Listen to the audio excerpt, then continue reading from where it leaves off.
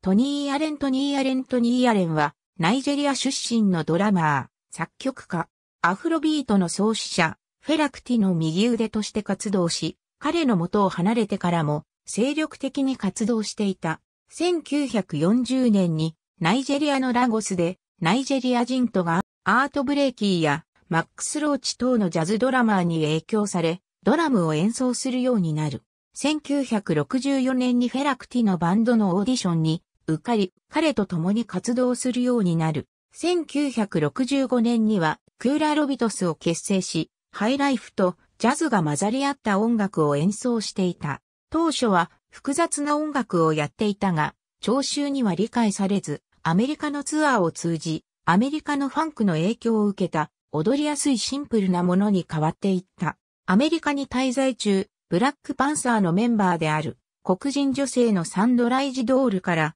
政治活動の影響を受け、これが音楽に結びつくようになる。ラゴスに戻ると、クティはアフリカ70を結成する。このバンドのアルバムにアレンはすべて参加。在籍中、クティのプロデュースで、ジェラシー、プログレス、ノーアコモデーションフォーラゴスを制作した。1980年代になると、クティの元を離れ、トニー・アレンアフロ・メッセンジャーズを結成し、ノーディスクリミネーションを制作。1984年にイギリスに1年半滞在し、その後はフランスのパリに移り住む。1990年代は主にセッションミュージシャンとして活動。アルバムもコンスタントに発表し続けている。2007年にはブラーのデーモン・アルバーンやザ・クラッシュのポール・シムノンらと共にザ・グッド、ザ・バッドザ・クイーンを結成してアルバムをリリースした。2012年にはデーモン・アルバーン、レッドホットチリペッパーズのフリーとロケットジュース・